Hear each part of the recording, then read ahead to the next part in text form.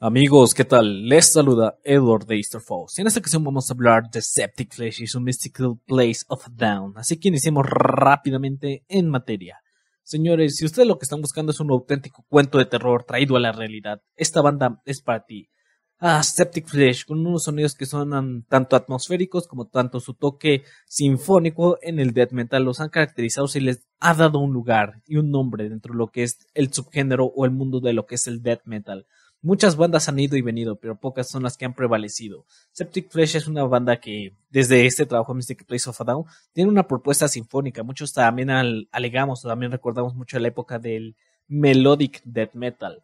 A nombrar un poquito a The Gates en sus inicios, pero nada como Septic Flesh. Septic Flesh es una banda en la cual toca aquellos temas fantasiosos, mitológicos, ocultistas, hasta incluso lovecranianos, como lo llamarían algunos, con lo cual ha sido así base base de su propio universo que han estado construyendo a lo largo de diversos trabajos.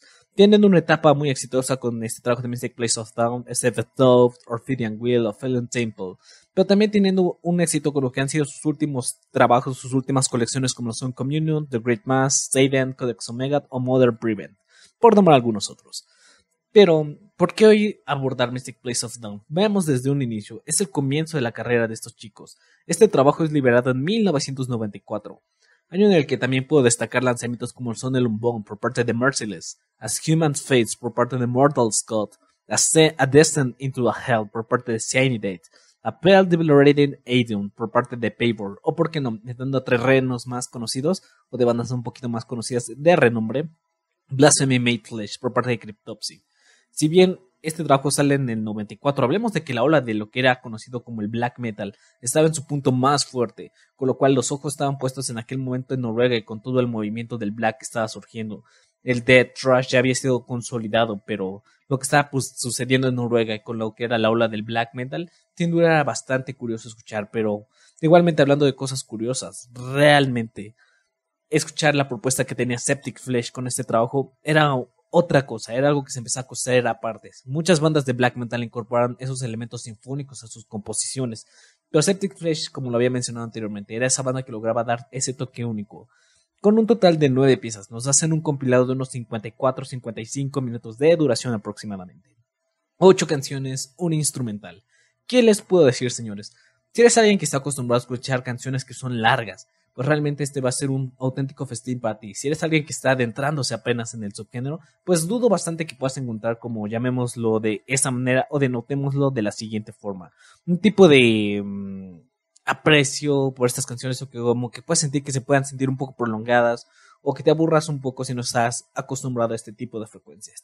Para todos aquellos que estén dispuestos a darle una oportunidad a este trabajo, realmente se lo recomiendo. El nombre de las canciones son Mystic Place of a Down, siendo la perdón, la pieza que le da inicio al trabajo y la pieza temática del mismo.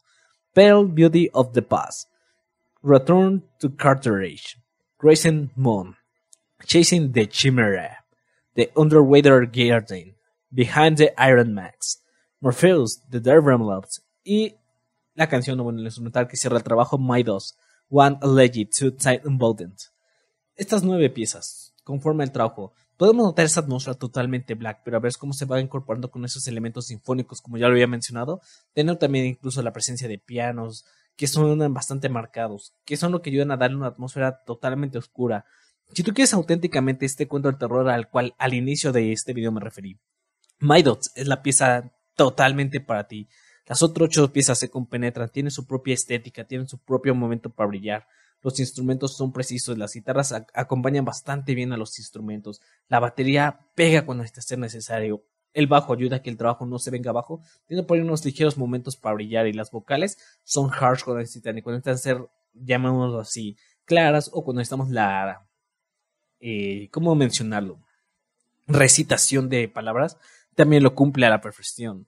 Realmente en un aspecto lírico ya sabemos de qué va el death metal pero ahora combina con estos temas de ocultismo así, pues realmente te ayuda a hacer cuestionamientos sobre si realmente tu existencia vale la pena, donde te maneja pasajes bastante oscuros, donde también te menciona lo que es ese mundo fantasioso, pero a la vez siembra preguntas dentro de ti. Dentro de las frases o dentro de los llamados y versos que a mí más me gustaron de este trabajo, puedo mencionar tres canciones. Veamos primeramente la pieza que le da inicio a este trabajo, Mystic Place of a Down. Lo que era un hecho se convirtió en leyenda. Lo que era realidad se convirtió en un lienzo descolorido, en el museo de civilizaciones. Tal vez nosotros mismos queremos olvidar, ayudar a la verdad de envejecer. Preferimos estar protegidos bajo el amparo de la ignorancia. Igualmente, yendo en el aspecto de lo que menciona Mystic Place of Adult, los misterios de un amanecer, donde también se hace alusión a ciudades perdidas, donde también se hace alusión a reyes caídos, demonios, y donde siempre esas dudas, ¿no? De serás feliz teniendo conocimiento preferirías seguir feliz con lo poco que sabes, ¿no? Dentro de las dudas que vienen mencionando el trabajo. Pero también siguiendo más o menos por esta misma línea, también hacen como ciertas reflexiones de vida, al punto de un servidor. Por ejemplo, mencionemos The Chasing the Shirema.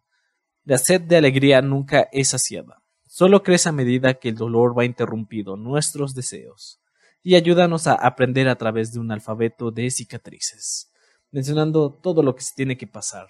Igualmente haciendo referencias a lo antes ya mencionado. Y por último, puedo mencionar, por ejemplo, Return to Churchers, en la cual menciona algo que es bastante curioso, que todos aquellos que son bastante avariciosos, envidiosos o que tan solo quieren buscar la gloria por ser gloria, deberían conocer. ¿A qué me refiero? Dentro de las líneas de esta canción nos encontramos con las siguientes líneas. La gloria es una puta que seduce hasta un sacerdote, pero pocos son los que la han probado. Así que besarás a los montones a las que ella ha traicionado. Vaya líneas. Como os vengo mencionando, este es un trabajo que es bastante efectivo. Realmente tú, si lo escuchas con unos buenos audífonos, una buena bocina, realmente tienes la oportunidad de apreciar todos los elementos, lo que hace que la construcción de estas piezas se sienta única, se sienta orgánica. Y realmente es un death metal que suena atmosférico, que suena poderoso que pega. No tendrá esos elementos tan salvajes de lo que algún momento, como eran sus inicios, tenía como pupa, pupa, pupa de la batería o que suenan en muchas culturales que sean rectantes, salvajes. Aquí Septic Flesh no está buscando eso. Septic Flesh lo único que quería era incorporar sus canciones, ese toque único, sinfónico, con el cual ellos iban construyendo un mundo totalmente oscuro para que en cada obra que tú le dieras play o tú le escucharas play, tuvieras la oportunidad de disfrutar de aquellos pasajes oscuros. Y eso es lo que Septic Flesh trae a la mesa. Por eso, y por todo lo mencionado, veamos, si tuviéramos que darle, o si tuviera, mejor dicho, que darle una calificación a Septic Flesh y Mystic Place of a Down, ¿qué calificación le daría? Al juicio de un servidor es un trabajo de unas 5 estrellas, de 4.5 a 5 estrellas. ¿Por qué, señores?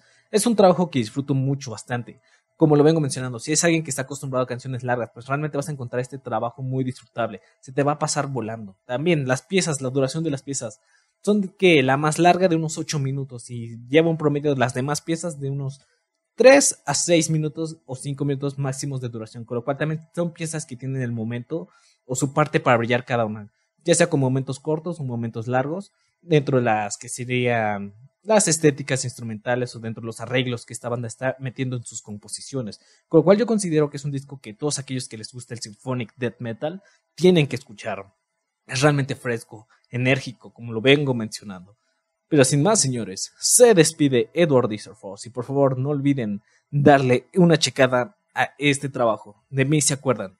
Sin más, nos estamos viendo en un próximo video.